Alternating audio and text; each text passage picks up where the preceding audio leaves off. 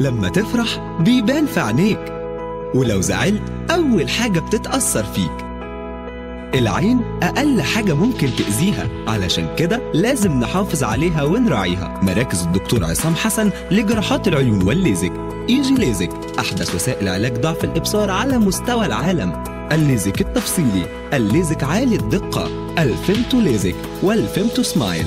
ال Supracor عمليات زرع العدسات وعلاج المياه البيضاء بالموجات الصوتية وال femto laser أحدث وأدق التقنيات لعلاج القرنية المخروطية وعلاج الجلوكوما وارتفاع ضغط العين حقن الشبكية والجسم الزجاجي وعلاج مضاعفات مرضى السكر.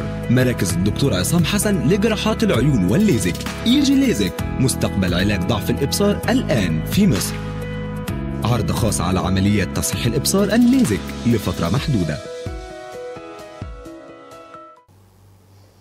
السلام عليكم ورحمة الله أصدقاء إيجي ليزك في الوطن العربي. النهاردة موضوعنا كنا اتكلمنا فيه قبل كده لكن هنتكلم النهاردة بتحديثات كبيرة جدا حصلت في الفترة الأخيرة وهي أحدث وسائل علاج ضعف الإبصار. هنقسم الموضوع النهاردة عشان الناس تستفيد إلى أربع أجزاء. أول حاجة عملية الليزك تاني حاجة عمليات المية البيضاء وزرع العدسة تالت حاجة علاج القرنية المخروطية. رابع حاجة علاج مضاعفات مرض السكر وخصوصا ارتشاح ونزيف الشبكية. الأول لازم نحط تشخيص سليم عشان نقدر نمشي وراه. التشخيص السليم هو الطريق اللي بيترسم لنا أنا والمريض عشان نقدر نتناقش ونوصل لأفضل حل بإذن الله. غالبية الناس دلوقتي بدأت مع التكنولوجيا والتطور والرفاهية اللي إحنا بقينا فيها زي ما عاوزين يركبوا أحدث عربية ويبقى معاهم أحسن موبايل كمان عاوزين يتخلصوا من النضارة أو العدسة اللي قد تكون عائق لبعض الناس أو مسببة لهم مشكلة في حياتهم سواء في العمل أو في ستايل الحياة. أصبح دلوقتي في المتناول استخدام تكنولوجيا متقدمة جدا وهي عمليات تصحيح الإبصار اللي بنستخدم فيها تقنية الليزك أو الإكزايمر ليزر. تطورت هذه العمليات في السنوات الأخيرة لدرجة إن إحنا أصبح عندنا اختيارات كتير جدا. بنختار لكل واحد ما يتناسب معاه من حيث قدرة الإبصار قرنية العين سن المريض استو... كل حاجة خاصة بحياته. يعني إيه الكلام ده؟ يعني إحنا دلوقتي لما بنيجي نعمل اختيار لعملية الليزك بنسأل المريض عدة أسئلة من ضمنها على سبيل المثال إذا كنت شخص رياضي أو بتلعب رياضة عنيفة زي الملاكمة أو المصارعة أو كنت بتستخدم حمامات السباحة في الصيف والشتاء بنستخدم لحضرتك تقنية تحافظ على قرنية العين من غير ما تسبب أي أذى نتيجة الإصابات اسمها ال trans PRK دي مجرد أمثلة عشان نوسع بس إدراك الناس لهذه العملية. ما أصبحش دلوقتي الاختيار هو بسعر العملية. يعني أنا مش هعمل العملية الأغلى أنا هعمل العملية الأنسب. والأنسب هي الأنسب من كل شيء بداية من سن المريض وقياسات النظر وفحوصات القرنية وطريقة حياته. إذا كان مثلا مهندس وبيروح مواقع في البترول أو في الصحراء أو بيروح في مباني عرضة إنه لا قدر الله يتخبط في عينه ممكن يجي هو مختار إنه يعمل femto LASIK لكن ال femto LASIK عشان فيه flap اللي هي القشرة ممكن تتخبط بعد كده في أي وقت بطريقة عنيفة فنقول له لأ الأنسب ليك إن إحنا نستخدم تقنية non-invasive ما بنعملش فيها أي قطع في أنسجة القرنية فبالتالي تقنية الليزك السطحي أو ال PRK أو ال trans PRK أو ال HD PRK دي كلها اختيارات متاحة لحضرتك هتحصل بها على رؤية عالية الجودة مع ضمان لأمان تام طول العمر.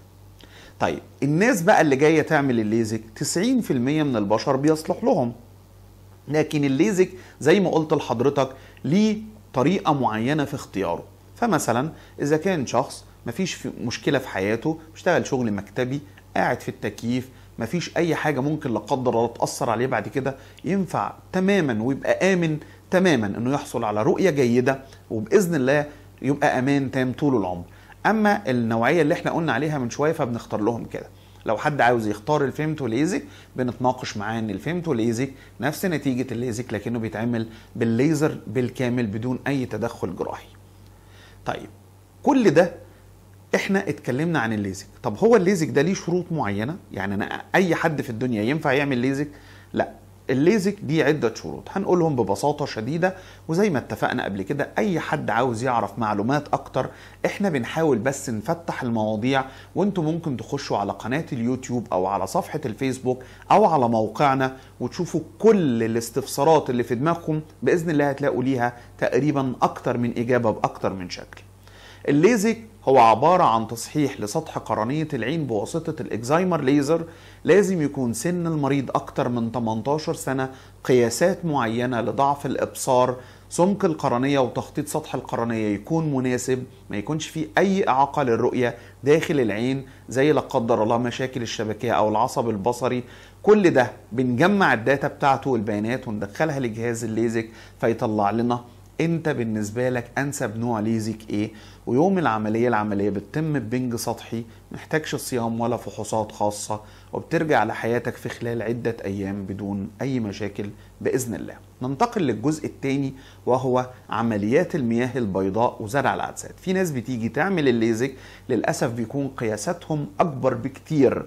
يعني إيه؟ يعني مثلا هندي مثال بسيط في حالات قصر النظر بيكون لحد ماينس 12 مناسب لو كانت فحوصاته كويسة. بعد كده بيكون استهلاك الليزر لأنسجة القرنية عالي فبيمثل خطوره إحنا اتفقنا دلوقتي إن الهدف الرئيسي ما بقاش فقط إن إحنا نعمل العملية الهدف الرئيسي بالإضافة لتحسين الرؤية هو الحفاظ على العين بإذن الله مدى الحياة بدون أي مضاعفات. فلما بيجي الشخص ده وقياساته بتطلع كبيرة بنختار له النوع الثاني وهو عمليات زرع العدسات. وزرع العدسات أنواع كتير جدا في منها نوع بنزرعه داخل عدسة العين أو مع عدسة العين زي حاجة اسمها ال ICL ودي بتدي ميزة الرؤية البعيدة والقريبة زي عمليات الليزك بالظبط. ودي بنعملها للناس اللي سنهم لسه صغير يعني العشرينات. بعد ما بيتعدى سن ال 30 أو ال 35 بيبقى مش من المنطق إن إحنا نعمل النوع ده وخصوصا إنه غالي جدا. فبنلجأ لنوع تاني من عمليات زرع العدسات اسمه ال clear lens extraction. بنشيل فيها عدسة العين ونزرع عدسة تقريبا تساويها أو أكتر منها في الرؤية بحيث تحصل على رؤية عالية جدا بدون الاستعانة بنضارة خالص. لكن في بعض الأحيان بتكون الرؤية البعيدة جيدة وبنحتاج نضارة للمسافات القريبة. وده بيشبه بالظبط عمليات المياه البيضاء مع الفرق إن ده بيجي عشان تصحيح الإبصار. أما المياه البيضاء بيجي عشان بيكون عدسة العين معتمة والرؤية بدأت تتأثر بصورة كبيرة جدا. هل ممكن حد يجي يعمل ليزك ويكون قياساته مش مناسبة لكن ما ينفعلوش تصحيح إبصار. أيوة ده الموضوع الثالث وهو القرنية المخروطية. ربنا خالق القرنية زي ما قلنا بتمثل جزء كبير جدا من قدرة العين على تجميع الصورة والرؤية لكن في بعض الأحيان سطح القرنية بيكون غير مستوي فبيعمل حاجة اسمها الأستجماتيزم الغير منتظم.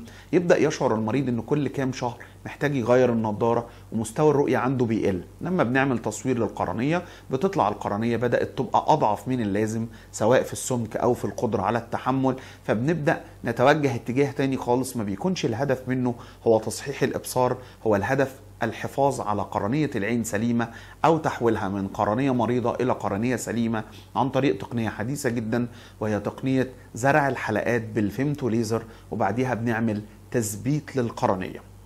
الجزء الرابع من حلقتنا النهاردة هو مضاعفات مرض السكر.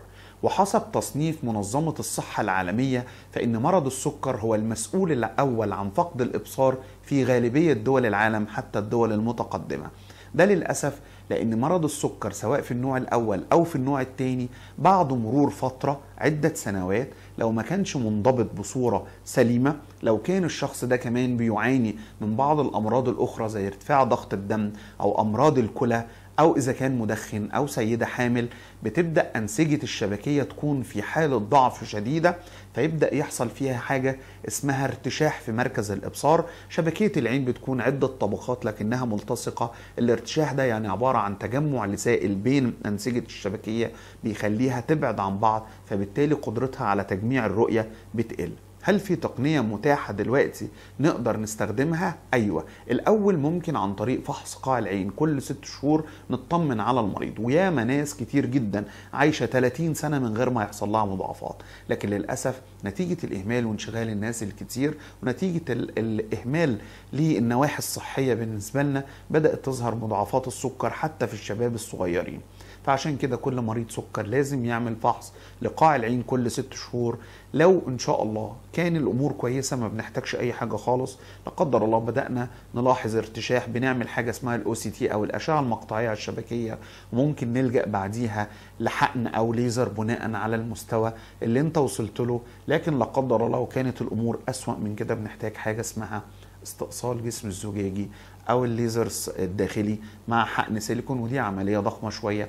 نتمنى من الله إن محدش يوصل لها. يبقى ببساطة شديدة اتكلمنا عن الليزك وأنواعه وقلنا بعض شروط عملية الليزك اللي ما بينفعلوش ليزك.